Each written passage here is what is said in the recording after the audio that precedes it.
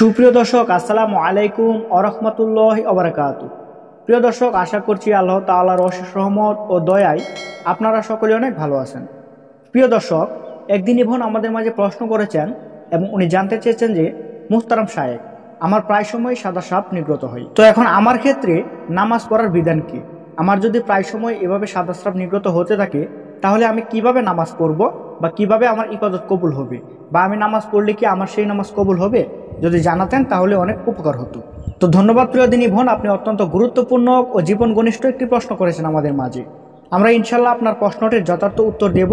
তো ভিডিওটি না টেনে সম্পূর্ণ দেখ তো প্রিয় বোন, দেখুন, লিউকুরিয়া বা সাদা স্রাপ হচ্ছে সমস্ত মহিলাদের একটি সার্বজনীন সমস্যা। অধিকাংশ স্রাপ জীবনশৈলী ও শরীরের বৃত্তান্ত সংক্রান্ত, যার কোনো চিকিৎসা প্রয়োজন হয় না।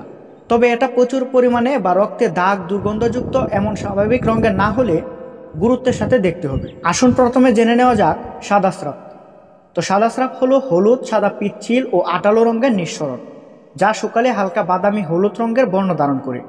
সাধারণত স্বাভাবিক সাদা পাতলা এবং সামান্য চটচটে হয়, আর এটা অনেকটা নাসিকা স্রাবের মতো হয়, অথবা সাদা স্রাব হচ্ছে ঋতুস্রাব থেকে পবিত্র হওয়ার পরে মহিলাদের লজ্জাস্থান থেকে যে সাপ নিগত হয় সেটিকেই বলে। তো এখন এই সাদা স্রাব বের হলে নামাজ পড়ার বিধান কি?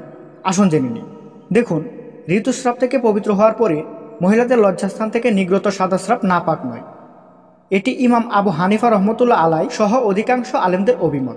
আল্লামা মোহাম্মদ বিন সালেহ ও উসমানী এই অভিমত গ্রহণ করেছেন। সুতরাং সাদা স্রাব যদি কাপড়ে লাগে, তাহলে কাপড় নাপাক হবে না। ফলে নামাজের পূর্বে কাপড় পাল্টানোরও প্রয়োজন নাই। তবে যথাসম্ভব কাপড়ে না লাগানোর চেষ্টা করাই উত্তম। তাই প্যাট আন্ডারওয়ার অথবা কোনো কাপড়ের টুকরা লজ্জাস্থানে দিয়ে নামাজ পড়া ভালো। তবে এখানে মনে রাখতে হবে যে সাদা স্রাব বের হলে অজু নষ্ট হয়ে যাবে। সুতরাং সালাতের পূর্বে পূর্বে লজ্জাস্থান দৌত করার পর অজু করে সালাত আদায় করতে হবে।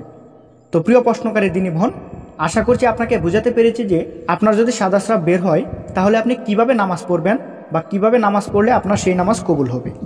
তো ভিডিওটি ভালো লাগলে অবশ্যই একটি লাইক করবেন এবং আমাদের চ্যানেলে নতুন হয়ে থাকলে অবশ্যই সাবস্ক্রাইব করবেন। ভালো থাকবেন, সুস্থ থাকবেন।